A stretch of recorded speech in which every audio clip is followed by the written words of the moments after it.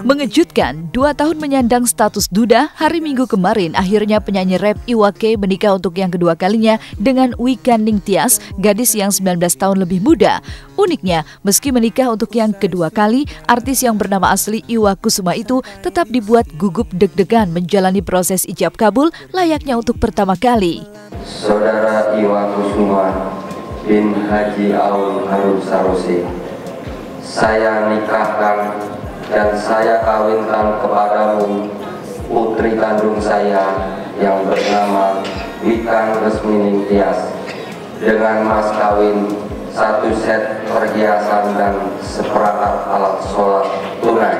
Saya terima nikah dan kawinnya Wikan Resmining Tias binti Denny Hendrato dengan mas kawin yang tersebut tunai. Iya, punten supaya bagus saya ininya diperlihatkan begini. Iya, bisa dong sayang? Iya, diperlihat. Iya, jangan lupa senyumnya. Iya, Kang Ibu jangan tegang ya. Uh, deg-degan deg-degan banget.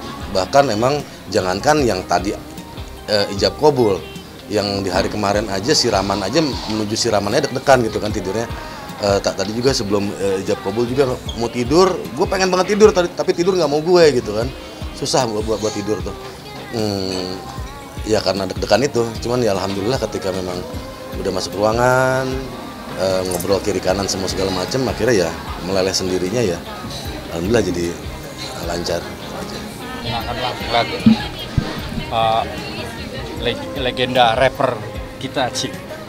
Komiwa akhirnya punya sandingan lagi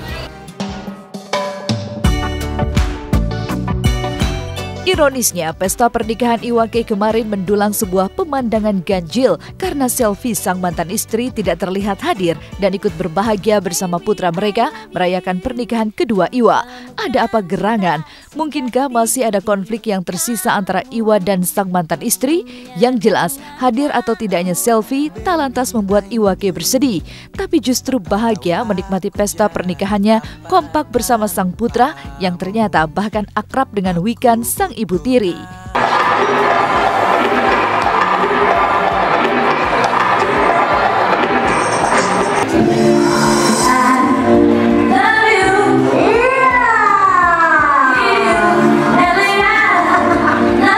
Kalau gue nyari yang jaraknya 36 tahun, berarti masih balita dia.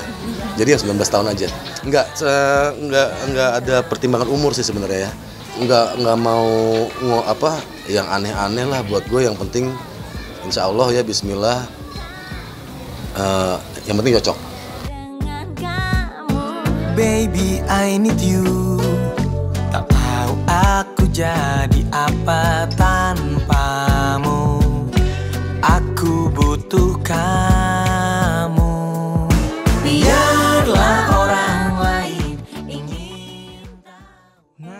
Pemirsa jangan lupa saksikan sinetron terbaru SCTV Gerobak Cinta Wakwau mulai hari ini 1 Juni 2015 pukul 5 sore.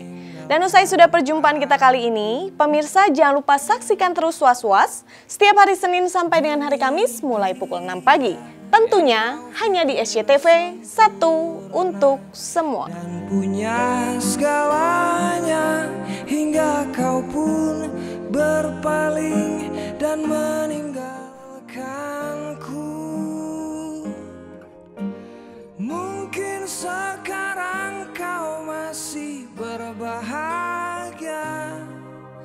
Dengan dirinya, dengan cintanya.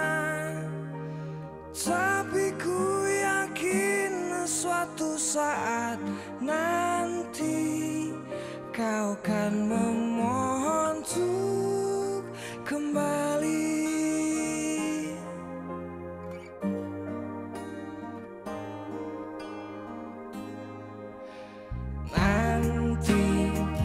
Pasti kau sesali setelah dirimu kehilangan